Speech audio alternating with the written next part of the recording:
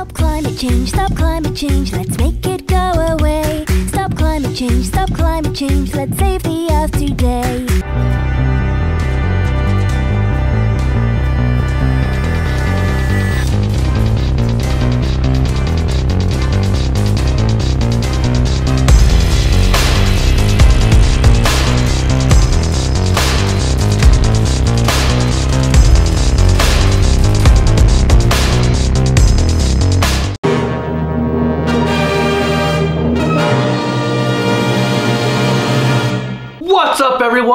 Am the Kaiju no Kami, and today I'm going to be taking a look at the 1994 premiere run of what is commonly known as Heisei Ultra 7. To commemorate Ultra 7's 25th-ish anniversary, Tsuburaya decided to release two television specials in 1994 that was set after the original Ultra 7 series, ignoring everything that followed up between Return through 80. Although, this does kind of solidify my personal belief that the Earth in Ultra 7 was set in an alternate universe compared to the follow-up series. Either way, these two episodes are set nearly two decades after 7's original ending. It is also worth noting that Tsuburaya would continue to produce follow-up specials in 98, 99, and 2002, however, I'm just gonna focus on the two made in 1994. Is the return to the world of Ultra 7 a grandiose celebration? Or should these have never made it past the paper they were written on? Let's find out. The Heroes. Being a continuation of Ultra 7, the episodes follow the exploits of the Ultra Guard, who are still protecting the Earth decades later. Furuhashi and Anne are the only characters to return from the original series, though Anne is no longer a member of the Ultra Guard. Instead, she is a mother of a boy she named Dan in honor of Seven, and that's all we know about her. Being Anne's son, Dan has the biggest character shields of all as an alien is ordered to kill him, but she is unable to bring herself to do so, and instead captures Dan because of course she does. なんで殺さなかったの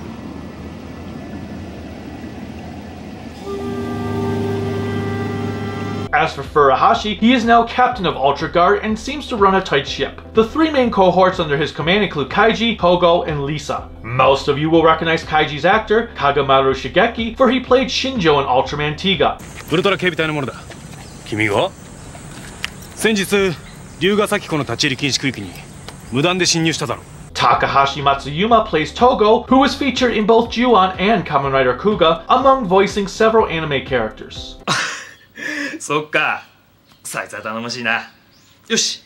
じゃあ未来のウルトラ警備隊にこいつをプレゼントしよう。As for Lisa, she is portrayed by Amy Suzuki, who would go on to play Kotoko Fujioka in the live-action adaptation of Ouran Host Club. I wish I could say something detailed about this trio, but alas, I cannot, as they are nothing more than errand boys. And girl, obviously. They're just there to be the field soldiers to trick the audience into thinking there's an actual plot to these pair of episodes. I've seen worse. You ever been to Detroit? You are probably asking yourself, hey wait, this show is called Ultra 7, so why aren't you talking about Dan here? Well, that's simple. Dan hardly holds a presence at all in either of these episodes. In fact, Dan doesn't even actually appear in the first one, only his voice does for a brief few moments. Seven is unconscious for the first 40 minutes of the premiere story. 俺はただのフライボーだフライボー Thankfully, he does physically show up on screen as Dan in the second tale, even if it is only for a fraction of the time. He just wanders around wearing the outfit he wore in the very first episode of the original series back in 67 as he tracks down what the aliens of the story are up to. Dan and Furuhashi never even actually meet up. It's like the show is too afraid to go through with the reunion it is advertising. The Aliens and Monsters. Two episodes, so two sets of aliens and monsters to discuss. The first episode brings back Alien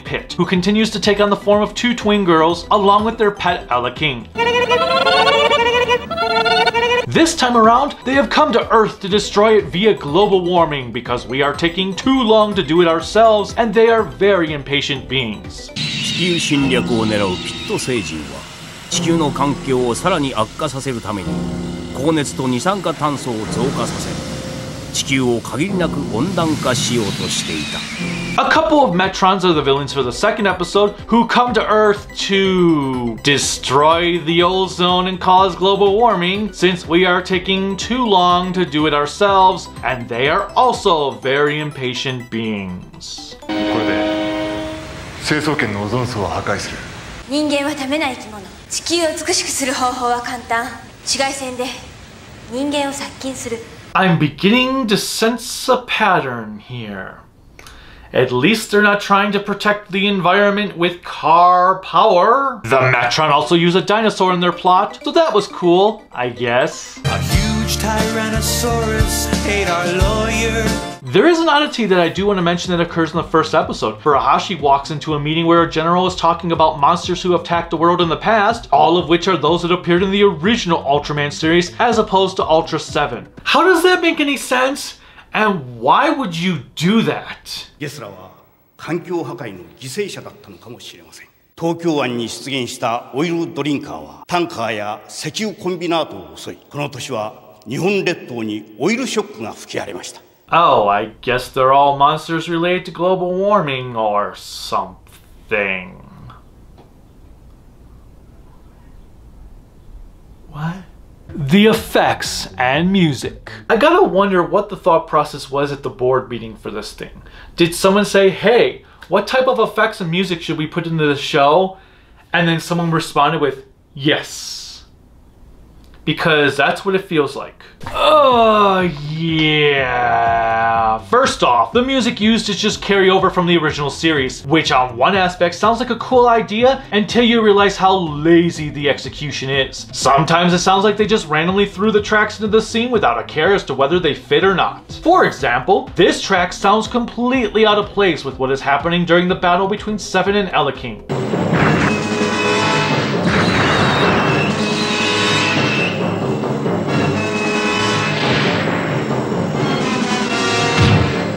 The opening song from the original series is used for both the opening and closing song to this show. Ultra 7 Dino 7 Ultra 7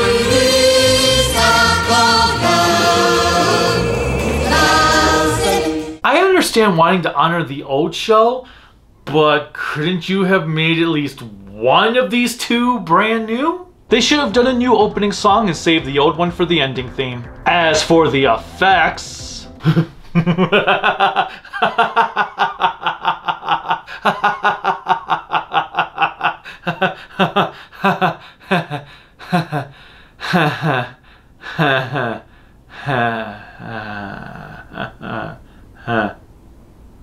They're fine, I guess.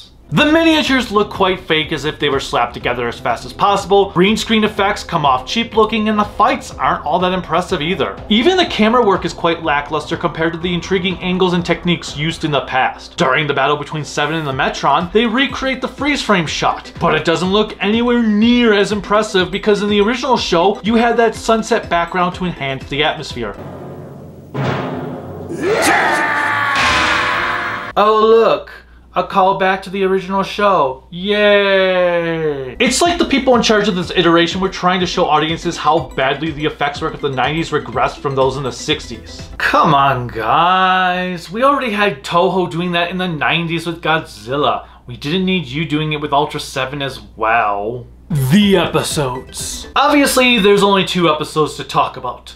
But what is our message from these two episodes? 海や川の汚染に大気汚染 酸性雨オゾン層の破壊そして地球の温暖化による影響まだまだありますその原因に私たちの生活も深く関わっています That's right. Humanity sucks. My freaking god. How many times in these episodes do they need to remind us that we are destroying the environment? If you want to see Ultraman take the social commentary approach of shoving their environmental message down our throats, this is the show for you. I don't think 10 minutes went by without something in regard to the environment being mentioned. 湖の水は生活排水で汚れている土だって極度に酸性土壌で作物の栽培には不適 空気だって 北川市の工場肺炎でかなり濁っている Not only was it annoying, but it also made these episodes utter bore fests to sit through. Each one is over 50 minutes long, and boy did they feel stretched out. Like in the first portion of the first episode, we have to listen to this scientist drone on and on about global warming. 地球環境の破壊が今相当なスピードで進んでいます その中で最も早急な解決が求められている問題というのが化石燃料を燃やすことによってこういう化石燃料を燃やしますとその燃料の中にあった炭素窒素硫黄などが出てきましてそれが大気中にあります酸素と結合して Oh my god. He is still going. 赤外線を捕まえて離さないんですねでご存知のように赤外線というのは熱に関係した放射線ですですから熱を捕まえて離さないって?地球が温まるわけでこういうのを温室効果温室みたいな働きだという意味で温室効果と呼んでます We don't care. Clearly. I guess if I had to pick which episode was better than which, it would be the second episode for being slightly less boring. Plus, Dan actually showed up every now and then, so that was a bonus. Overall, unless you feel like you must watch the two Heisei Ultra 7 episodes from 1994, I recommend skipping these. I give them a generous 1 out of 5 grown-ups in spandex. Credit where credit is due, at least these two episodes weren't as bad as Ultra 7X. That's something, right? I'll get around to the next batch of Heisei episodes at some point. Until next time, bye.